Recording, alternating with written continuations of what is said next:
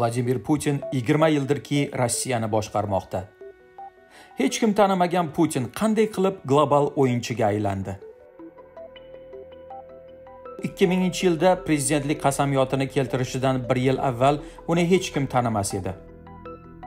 Sovet xavfsizlik xizmati kgbda toblangan putin 1999 yilda to'satdan bosh vazir bo'ldi.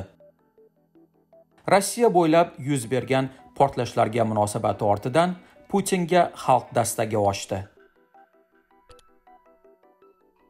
Milliy lider dunyoga keldi. Bu imijni rasmiy matbuot muntazam xasposhladi u avvaliga matbuot ustidan qattiq nazorat o'rnatdi. Tanqidchilari sudlandi qochdi yo o'ldirildi. Xorijda putin rossiyani yirik global o'yinchidek taqdim qildi.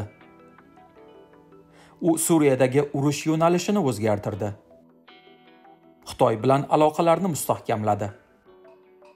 2014 yilda putin ukrainaning bir qismini bosib oldi. Putin prezidentligi davrida rossiya saylovlarga aralashuv sportdagi doping va siyosiy qotilliklarda ayblandi. Ammo uning tarafdorlari putinni boshboshdoq tarixga ega davlatdagi barqarorlik va qudrat kafolati deb ko'rishadi. Konstitutsiyaviy o'zgarishlar ortidan putin 2036 yilgacha qudratda qolib rossiyaning eng uzoq muddatli lideriga aylanishi mumkin.